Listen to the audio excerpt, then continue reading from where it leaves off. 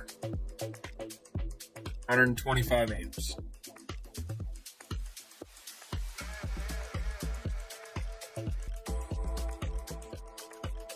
You can see I've got my filler wire pretty much in between that gap. I've got enough gap to where I can fit the wire in between and I'm moving my torch back and forth making sure I'm melting off the edges. I've got this one tacked in three places.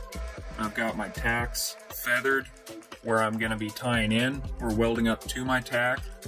I don't have it feathered where I'm going to leave. I'm running enough amperage to where I can get a good tie-in leaving my tack. Here you can see how much space I have left. Again, I'm running an eighth inch fill wire, so I've got a little bit of space. I want to make sure I have plenty of room to fit the wire down to the bottom. Going to be back feeding the bottoms, and I'm going to be doing a lay wire on the top quarters.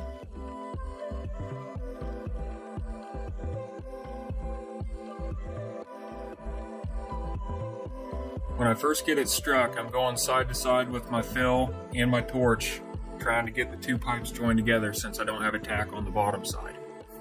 I'm doing the same motion with the torch as what I was doing for the tack welds in the opening arc shot. You can see I'm just kind of wiggling the torch back and forth with my fingers. I'm not really moving anything more but just my fingers and I'm trying to do the best I can to keep that wire joined into the weld puddle the whole time. Like you can tell when, when I lose it, the arc gets pretty bright. That's not a big deal. You just want to make sure you get that wire back in the puddle as fast as you can. If you have that wire outside the puddle for too long, you'll start generating too much heat and you'll start getting sucked back. You'll get a really shallow root pass.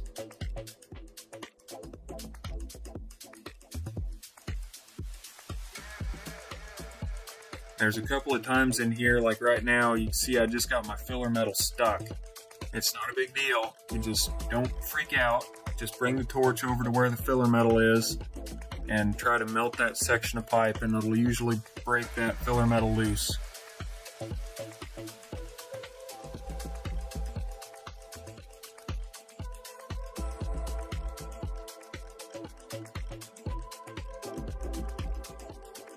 See there, I got pretty uncomfortable, so I decided to just quit. Bring the filler metal out to the outside of the pipe, strike back up. I'm starting to do a lay wire. I've got the filler metal on the outside of the pipe now.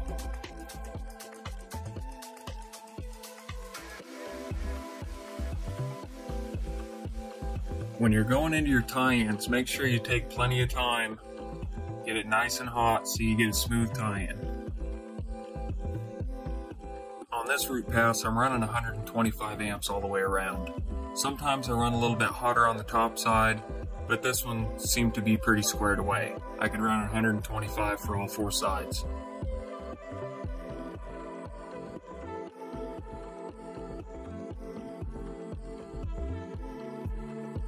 Here's a good shot from the inside. I take my time getting started, making sure I melt off that previous section of root.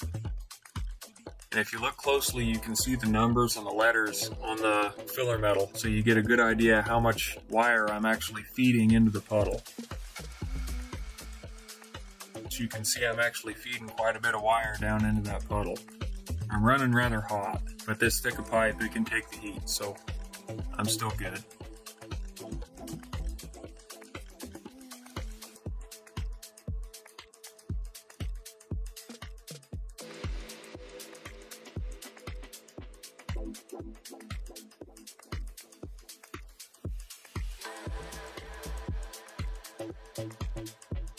And again, my torch is going side to side, but I'm trying to keep that filler metal right there in the center where the, the root opening is.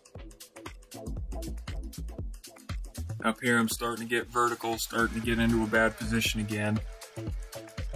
But I'm a little more comfortable this time. I don't have to stop welding. I just bring my torch back about a half inch, bring my fill to the outside of the pipe, do a lay wire from there. Nice and slow to the tie-in, keyhole it before I go into it.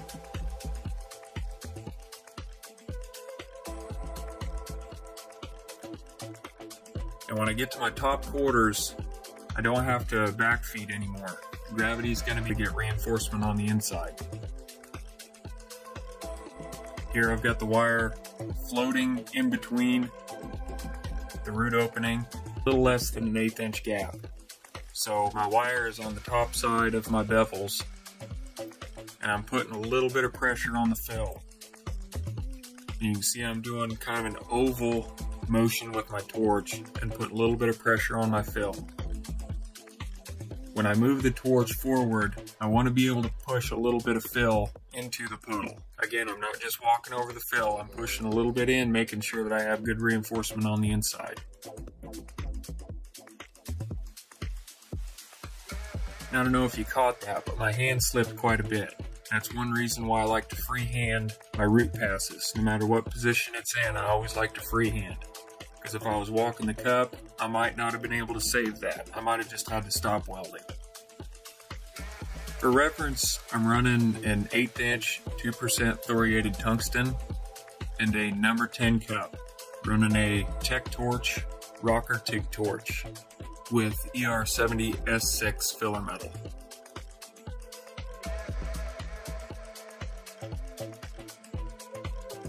Let's have a look. You can see on that left side where I got uncomfortable and had to stop. I got a little bit of a dingleberry right there. It's not over an eighth of an inch, so it's good. The rest of it, 330 seconds reinforcement, good smooth tie-ins. All the edges are broken down. Everything looks nice and smooth.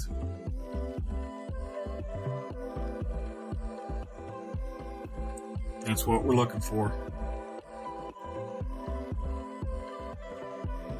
Maybe in a later video I'll show you how to fix that bad spot on the left side because that can be fixed as long as you know where it's at and you do it before you put your fill pass in. Thanks for watching. Stay tuned for part two, the fill passes.